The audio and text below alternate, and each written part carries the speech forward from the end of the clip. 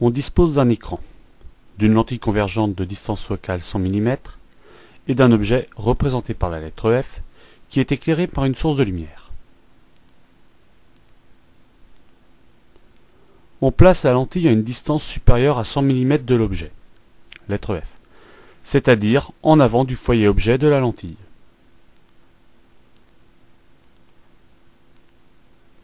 On déplace l'écran afin d'obtenir une image nette.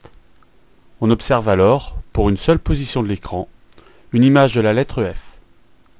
Cette image est inversée.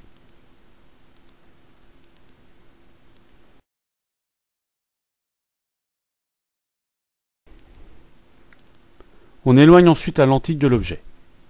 On déplace à nouveau l'écran afin d'obtenir une image nette. On constate que l'on a une image qui est toujours inversée, mais qui est plus petite que la précédente.